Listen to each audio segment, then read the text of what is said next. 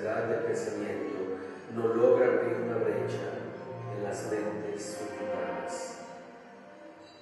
Porque los mitos, los dogmas, el temor de saber asfixian la sed de conocer, de ir más allá de lo que simplemente se percibe, de zarpar y navegar a través de nuevas culturas, nuevas emociones, lenguajes distintos y religiones desconocidas.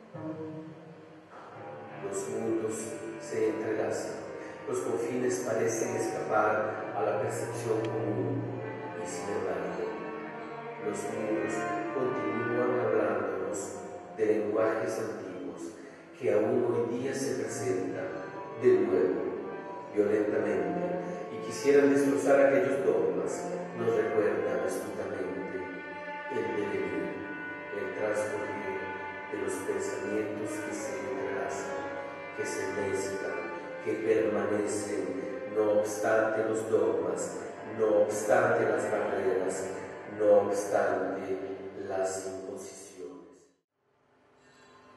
Soy Francisco Córdoba, estamos acá en la Bienal de Venecia, en el primer pabellón en la historia de nuestro país, de Costa Rica, eh, en esta manifestación internacional mundial de importancia muy notable.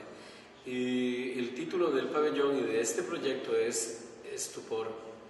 Ahora, trata en cierto modo de rescatar elementos antiguos, obviamente leídos en clave actualizada. Por eso, en cierto modo, hablamos de la paz, hablamos del amor, hablamos del rescate de la cultura, de la educación, eh, de los cuidados médicos a nivel universal. Eh, existió en Italia y en Alemania eh, Federico II, que fue un emperador, y él hace casi mil años eh, en sus edictos mm, promulgó leyes que tenían que ver con la educación, con los cuidados médicos a nivel universal para todos los habitantes de sus territorios. En ese mm, sentido, he tratado de valorizar lo que caracteriza a la idiosincrasia costarricense, el amor y el deseo y la necesidad de luchar y conservar la paz, la necesidad de extender eh, la educación a todo nivel para todos los habitantes del país, independientemente de su nacionalidad, y también obviamente los cuidados médicos, que son fundamentales. Una conquista del del ser humano, un derecho humano, a mi parecer. El proyecto es amplio, y va más allá de confines nacionales en el sentido de que debido a que fundamentalmente es promovido por nuestra Asociación Cultural Utopía, eh, mm, va, mm, es, es, amplio y va más allá de límites geográficos, por el hecho mismo de tratar de valorizar elementos que son parte de la historia del ser humano y ellos son los derechos humanos. Entre ellos, a mi parecer, la defensa de la belleza, de la necesidad de crear, de la cultura y del arte. Participan artistas costarricenses, por supuesto. Eh, junto a mí eh, está Jaime David Tischler y Luis Chacón, pero también hay artistas italianos, hay em, un, un, artista alemán y otro que es de origen alemán y un artista que nació en Sudáfrica. Eh, durante el periodo de Federico II, como decía antes, hace más de 800 años, eh, él promulgó la integración de, de las de, las distintas, de, los distintos grupos humanos y de las religiones. una cosa que fue sumamente a la vanguardia en aquel periodo.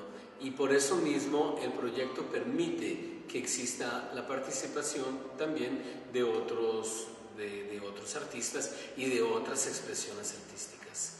Em, ha sido un trabajo muy arduo, es un trabajo que nace hace prácticamente año y medio. Pudimos traer también como artista fundamentalmente al actual ministro de Cultura y Juventud de Costa Rica, el eh, maestro Manuel Obregón, que es compositor y pianista. Él obviamente vino como representante eh, oficial de nuestro país, pero dando soporte eh, musical, soporte artístico. Fue una cosa mágica el día de la inauguración, el 3 de junio. Y también estuvo la actual directora del Museo de Arte Costarricense y, todo ello pues le ha dado un resalte mayor. Estamos tratando de mm, reactivar lazos de unión entre eh, nosotros acá y el Museo de Arte Costarricense y el Ministerio de Cultura para que se pueda evidenciar, para que se pueda subrayar la importancia que tiene el hecho de participar a este nivel en un, en un ámbito eh, de importancia mundial.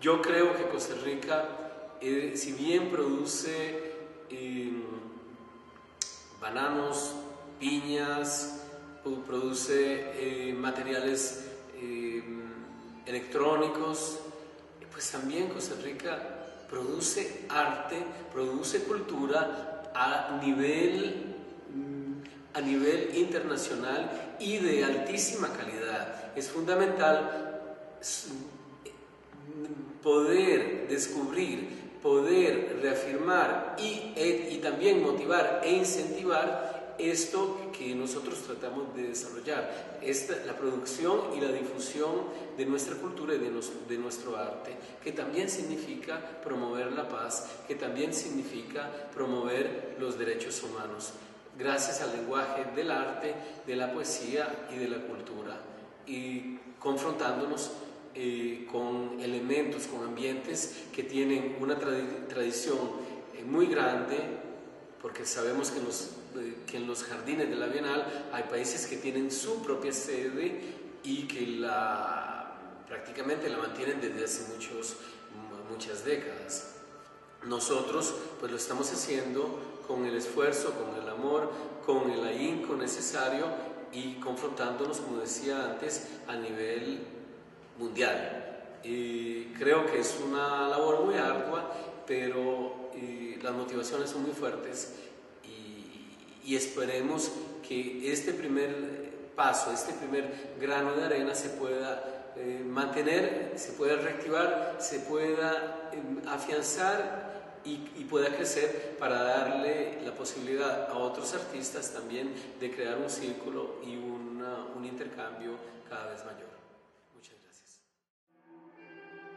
La espiritualidad no puede permanecer encarcelada entre las barras de los muros se debe reflejar también en la belleza del pensamiento, de los versos, de las palabras y de los sentimientos.